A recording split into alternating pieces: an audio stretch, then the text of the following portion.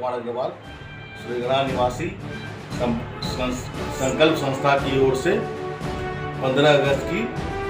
सुरेगड़ा वासियों को शुभ शुभकामनाएं एवं देशवासियों को भी संकल्प संस्था की ओर से